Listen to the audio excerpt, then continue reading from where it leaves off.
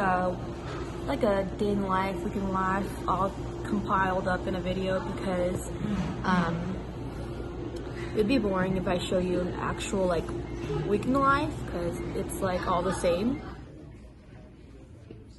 Yeah, I gotta double check.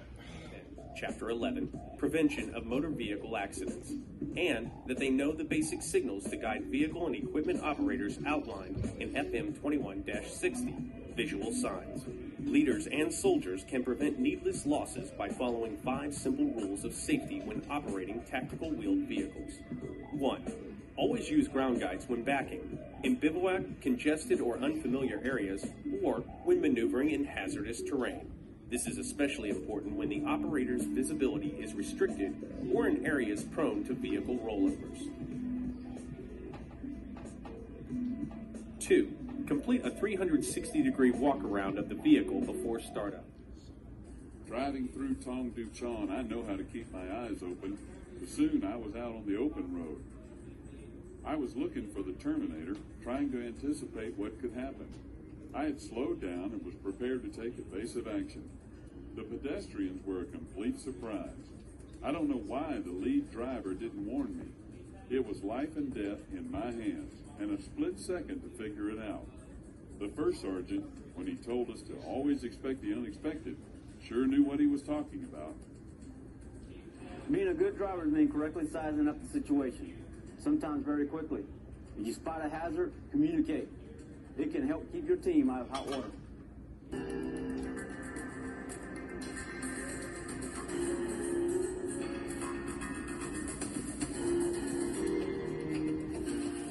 Not authorized, soldiers have been seriously injured, some of them fatally, while sleeping under or in close proximity to vehicles.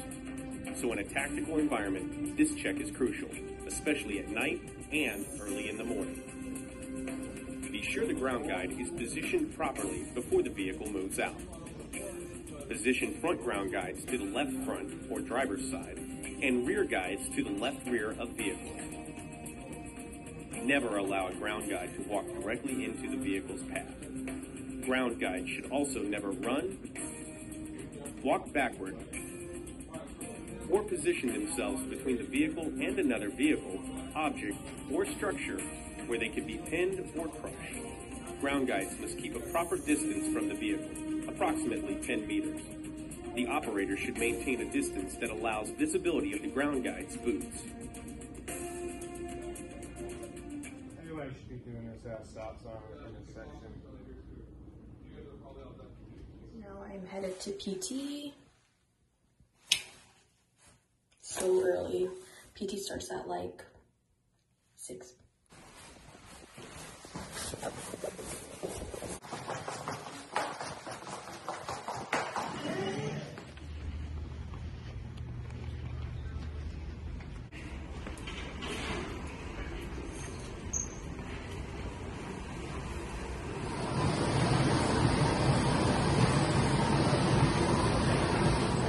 got done with PT and now I'm gonna head home.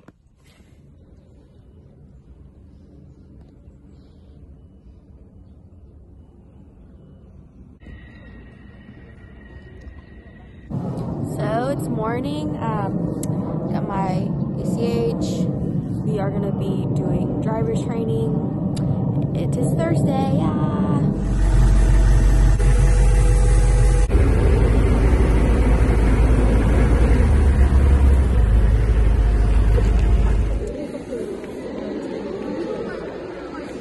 Hey guys.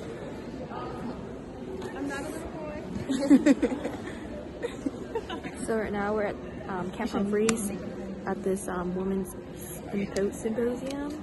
Yeah, it's um, bright and early. During World War I, the U.S. Navy and Marine Corps allowed women to enlist.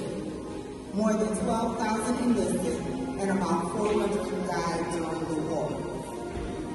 Women also worked for the American Red Cross and the United States Service Organization, as well as other jobs vacated by men who were off at war. In World War II, a total of 350,000 women served in the U.S. military as Army and Navy nurses. During this time, the reserves for women were also established. The Navy began the Women Accepted for Volunteer Emergency Service WAVES, and the Air Force created Women Air Force Service Pilots, WASP. After World War II, as a result of modern warfare, front lines were blurred, and every soldier was at risk. Family, friends, and most of all, the ladies. So before I start my speech, um, I think really I was only asked here because I might just be the oldest female sergeant major here. Um, and I think that really identified when all the uniforms got up on stage and I had every single one of them except one. So, I am proud and honored to have been asked to be your guest speaker. Uh, when I sit down and think about it, I'm not special at all, but I have been empowered in my career by an inspiring female leaders, which led me to spending 29 years in the military. And since then, uh, since that time, we are keeping the strong alliance between the U.S. and uh, Korea. So it's been 70 years in the strong rockfast alliance. 현재 우리 한국 전쟁에서 미군 사망자가 약 3만. Uh, it is For me, it is the first time to meet most of us, most of you from the U.S. side, and for the ROK side, several um, persons have met with me, but most of you are still not familiar. 우리 지작사 이하에는 약 2,600여 명의 여군 부사관이 근무하고 있습니다. Under ground component command, uh, t- there are 2,600 female enlisted personnel serving.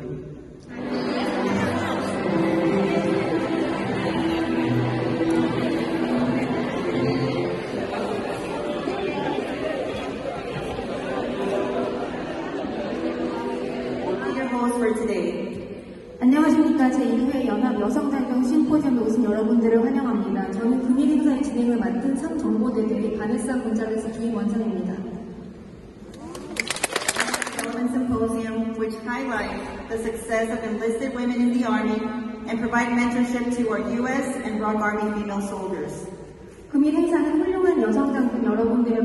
So I am at work and got a lot of things to turn in. So far, it's that stuff.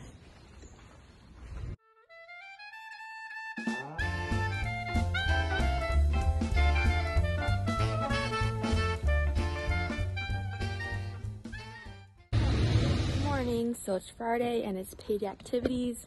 Um, over at Class B's.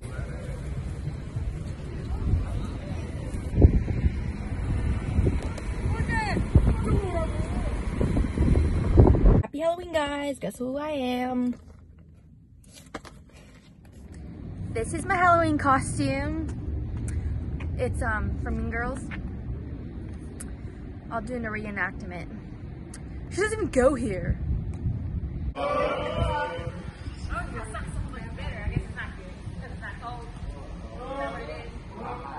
so real quick, I'm gonna put out. Oh shit!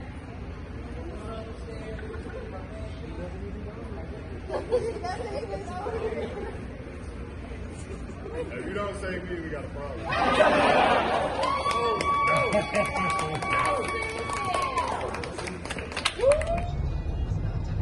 Good morning. We have to wear this and wear our gas mask.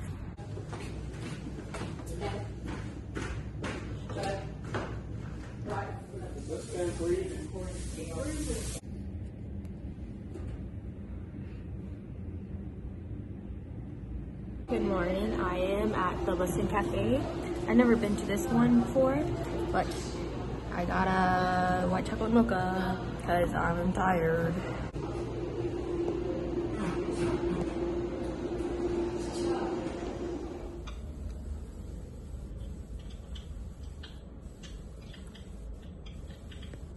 So it's after work and I had to stop by the PX to get air freshener for my car. Need some decoration.